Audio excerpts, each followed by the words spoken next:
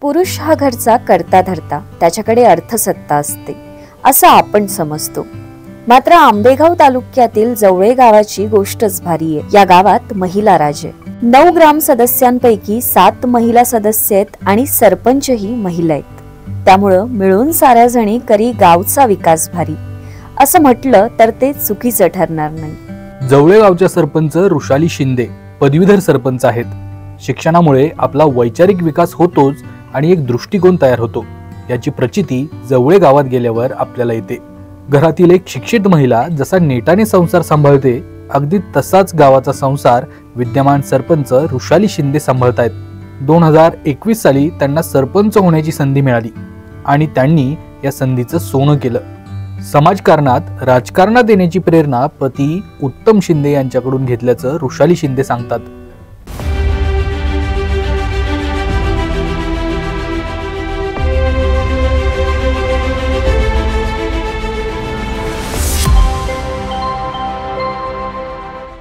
ज्याच्या नेतृत्वाखाली गावाने घ्यावी भरारी उंच असा असावा गावचा आदर्श सरपंच. प्रभात पुरस्कृत आदर्श सरपंच पुरस्कार सोहळा. प्रायोजक शुद्ध आयुर्वेद चूर्ण दूध कांडी the Cosmos cooperative bank limited आणि मुकुंद इंजिनियर्स. नमस्ते मी वृषाली उत्तम शिंदे पाटील राहणार जवळेगाव सरपंच जिल्हा पुणे तालुका आंबेगाव. दोन हजार एकवीसपासून माझी सरपंच पदावरती नियुक्ती झालेली आहे. प्रेरणा होती की माझी मिस्टर म्हणजे जे नेहमीच गावच्या प्रत्येक कार्यभारात म्हणा किंवा कोणत्याही कार्यक्रमात म्हणा नेहमी अग्रेसर असतात. आडल्या नडल्यांचं करणं हे त्यांचं नेहमीचंच त्यांचा गुण असतो. आणि ह्याच गुणांनी कदाचित मला प्रेरित केलं आणि मलाही वाटलं की महिलांसाठी किंवा आपल्या गावासाठी मलाही काही करता यायला हवं. म्हणून मी या क्षेत्रात येण्याचा पूर्णपणे निर्णय घेतला आणि त्यासाठी माझ्या घरातून माझ्या पूर्ण शिंदे परिवारातूनही असेल आणि शिवाय माझ्या जवळे गावातूनही असेल. मला खूप सपोर्ट मिळाला. त्याबद्दल मी जवळे गावाचे नेहमीच आभार मानेल की त्यांनी मला आपल्या गावची सेवा करण्याची संधी उपलब्ध करून दिली. त्याबद्दल मी त्यांचे शतशत आभारी आहे. प्रचार म्हणजे मला असं वाटलंही नव्हतं की मला हे पद मिळेल किंवा एक्सेप्टेड नव्हतं खूप की गावातून आपल्याला एवढी लोक हे करतील क- बाबा निवडून देतील आणि आपण ह्या पदापर्यंत जाऊ. ठीक आहे सदस्यपद मिळतंय आपल्याला. ह्याबद्दल मला खूप चांगलं वाटलेलं. पण जेव्हा सदस्यपद झाल्यानंतर जेव्हा सरपंच पद मिळालं त्यावेळेची एक जी भावना होती ती खूपच म्हणजे मी न सांगण्याजोगीच आहे कारण त्यावेळेचा आनंदच वेगळा होता की चला आपल्याला आपल्या गावासाठी काहीतरी करण्याची संधी मिळते हे माझ्यासाठी सर्वात मोठं होतं. महिलांना नेहमी महिलांच्या काय अडचणी असतात? एकतर माझे मिस्टर दारू पितायत तर तुम्ही दारूबंदी करा. दुसरी काय बोलणार की हा बाबा पाणी नाही आम्हाला पाण्याचा पुरवठा करा. मग ह्या ज्या बेसिक गोष्टी ते एक पुरुषापेक्षा महिला एकमेकींचं चांगलं समजू शकते असं मला वाटतं.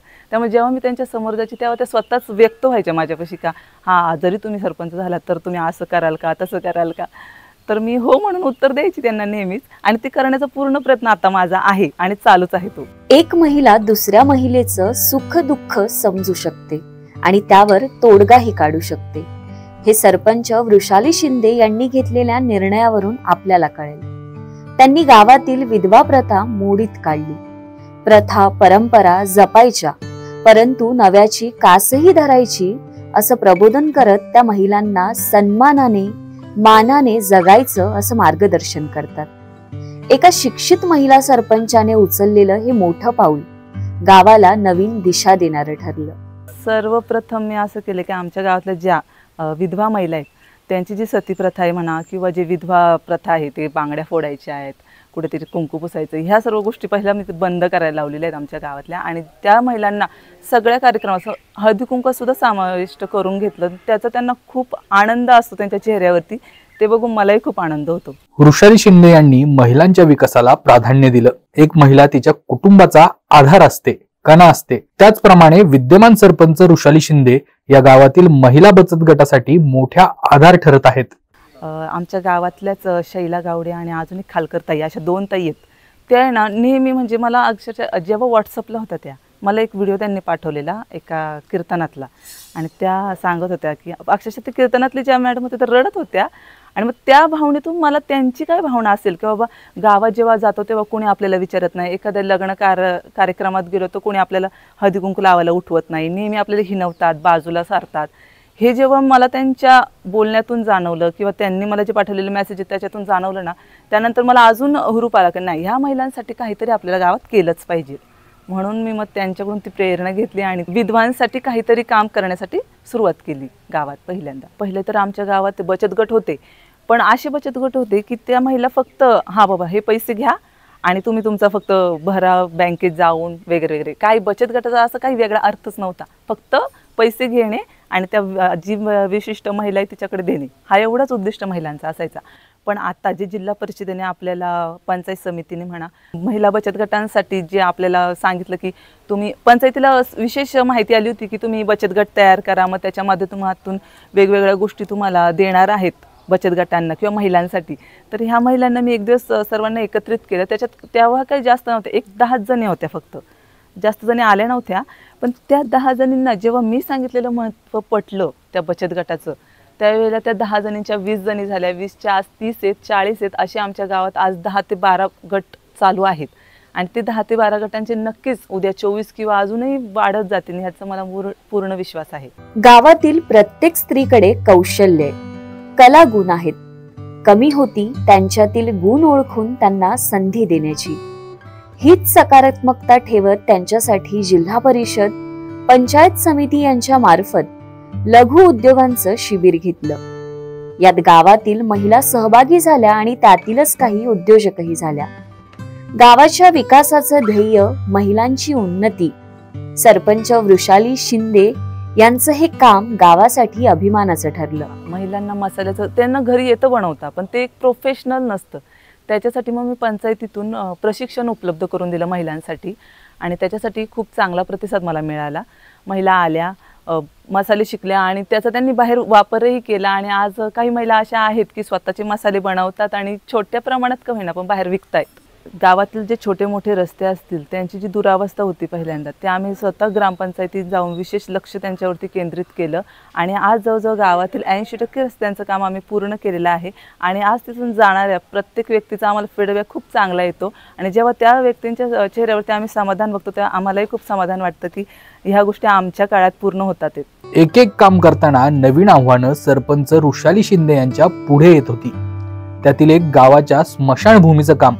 अंत्यविधीच्या वेळी अनेक अडचणींचा सामना संबंधितांना करावा लागेल. मात्र शिक्षणामुळे आलेली विचारांची स्पष्टता त्या आव्हानांना परतून लावत त्यांनी चांगल्या पद्धतीने आणि सोयीयुक्त स्मशानभूमी उभारली. त्यांचं काम गावकऱ्यांसाठी समाधानकारक ठरलं आहे. ज्यावेळी आम्ही स्मशानभूमीचं काम ग्रामपंचायतीने हाती घेतलं त्यावेळेला तिथं फक्त एक पत्रा शेड होतं की त्याच्यामध्ये ज्या वेळेला कोणता अंतविधी व्हायचा की पाऊस असेल किंवा दुसरी कोणतीही गोष्ट असेल त्यावेळेला ती गैरसोय व्हायची का? लोक कशी उभे राहतील त्या क्षणी? असा विषय नेहमी आम्हाला सतावत होता. मग त्यानंतर आम्ही पक्क बांधकाम तिथे केलं आणि आजूबाजूने पण बसण्यासाठी सोय उपलब्ध करून दिलेली आहे आज सर्वांसाठी.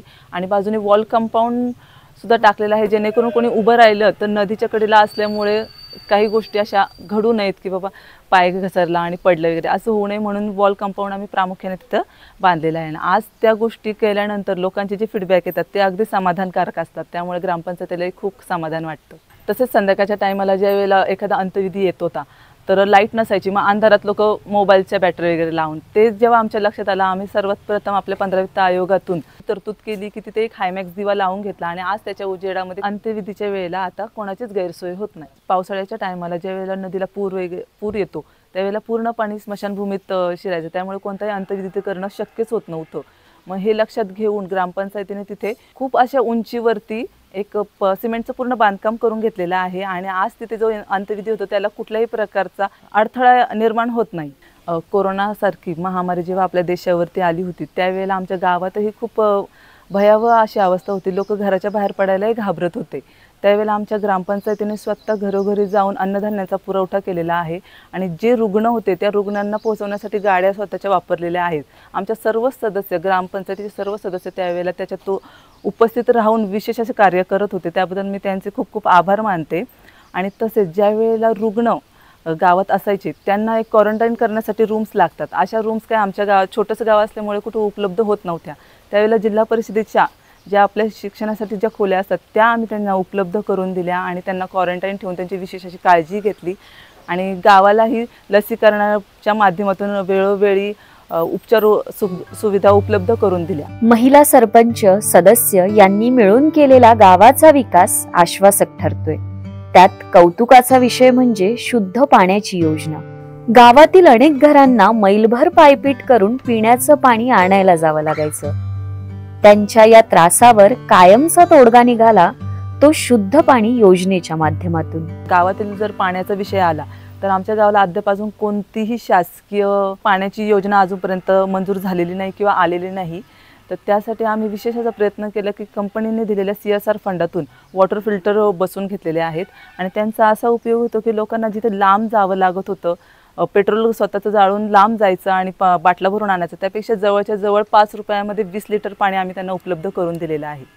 तर पाण्याच्या योजनेमधून तर ते झालंच पण आपली शाळा असतील अंगणवाडी असतील ह्या सर्व महिला कार्यरत असतात. त्या स्वतःहून काही पाण्याची सुविधा करू शकत नाही त्यामुळे त्यांना शुद्ध पाणी मिळण्यासाठी ग्रामपंचायतीने दोन्ही अंगणवाड्या दोनच अंगणवाड्या आमच्या गावात. दोन्ही अंगणवाड्यांना वॉटर फिल्टर उपलब्ध करून दिलेले आहे. तसेच आपल्या जिल्हा परिषदेच्या शाळेलाही वॉटर फिल्टर उपलब्ध करून दिलेले आहे. त्यामुळे मुलांना शुद्ध पाणी मिळ पिला प्यायला मिळतं आहे ह्याचा खूप आनंद मला नेहमी होत असतो. शाळेसाठी वॉल कंपाऊंडची खूप आवश्यकता होती. त्यामुळे पंधरा वित्त आयोगातून आम्ही तारेचं वॉल कंपाऊंड शाळेसाठी पूर्ण तयार करून घेतलेलं आहे. तसेच आपली दोन अंगणवाड्यांमध्ये सुद्धा आम्ही तारेचं कंपाऊंड बांधून घेतलं जेणेकरून आपली लहान मुलं भिंतीच्या चढून बाजूला जाऊ नये आणि काही अपघात वगैरे घडवू नयेत तसेच आपले गेट तयार करून घेतला. त्या गेटमधून समजा कोणी दुसरं बाहेरचंही व्यक्ती आतमध्ये येऊ शकत नाही आणि शाळेच्या वेळात मुलंही बाहेर जाणार नाहीत अशी तरतूद करण्यासाठी आम्ही गेट प्रामुख्याने बसून घेतलेला आहे. घरातील महिला हा त्या कुटुंबाचा आधार असतो. तिच्याकडून कुटुंबावर कळत नकळत अनेक संस्कार होत असतात. पिढी घडत असते. नाव मोठे करत असते. मात्र त्या महिलेची एक ओळख समाजाला व्हावी तिलाही अधिकार मिळावा यासाठी सरपंच ऋषाली शिंदे यांनी गावातील प्रत्येक घरावर पुरुष व स्त्री म्हणजेच स्त्री व सौ नावाची पाटी लावली. आज गावात स्त्री पुरुष समानतेचे एक पाऊलच घरापासून उचललेले दिसते. महिलांसाठी विशेष कार्य करायचं म्हणून मी गावात असा विचार केला की घरावरती हक्क तर पती व पत्नी दोघांचा समान असतात परंतु जेव्हा पाठी असते ती फक्त पतीचीच असते. मग असं का? असा विचार जेव्हा आमच्या महिला सदस्यांच्या व माझ्या मनात आला त्यावेळेला आम्ही असा विचार केला की ग्रामपंचायतीच्या वतीने आपण श्री व सौ अशा दोघांच्या नावाच्या पाट्या आम्ही आमच्या म्हणजे स्वतः ग्रामपंचायतीच्या खर्चातून गावातल्या सर्व घरांवरती लावलेले आहेत. महिलांच्या आरोग्याच्या दृष्टीने ग्रामपंचायतीच्या माध्यमातून वेळोवेळी आम्ही आरोग्य शिबिरे घेतलेली आहेत. त्याच्यामध्ये त्यांचे बी पी चेक करणे एच बी चेक करणे अशा वेगवेगळ्या सुविधा त्यांना दिल्या.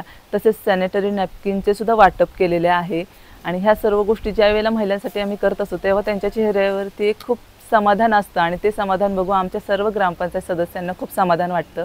आणि विशेष मला सांगायचं झालं तर आमच्या ग्रामपंचायतमध्ये नऊची बॉडी आहे. पण सात ह्या महिलाच आहेत. त्यामुळं मी त्यांच्यासोबत जेव्हा असते त्यावेळेला मलाही खूप असं सक्षम असल्यासारखं वाटतं. तसंच महिलांसाठी योग शिबिराचंही आम्ही आयोजन केलं होतं. ज्या वेळेला किशोरवयीन मुलींचं मार्गदर्शन आम्ही ठेवलं होतं मग त्यांना पोषण आहार म्हणून खजुरांचे वाटप आम्ही केले होते. आणि ते योग शिबिरालाही खूप चांगल्या प्रकारे प्रतिसाद आम्हाला मिळाला. गावच्या सरपंचपदी माझी नियुक्ती होण्यापूर्वी मी गावामध्ये महिलांसाठी वेगवेगळे कार्यक्रम करतच होते किंवा त्यांच्यामध्ये सहभागी व्हायचे. पण ह्यानंतरही गावामध्ये बस स्टॉप बस स्टॉप आणि सभागृह यांच्यासाठी सुद्धा आम्ही खूप प्रयत्नशील आहोत की ह्या गोष्टी व्हाव्यात म्हणून. आणि अशा प्रकारे आम्ही गावच्या प्रत्येक विकास कामात नेहमी अग्रेसर राहू. धन्यवाद.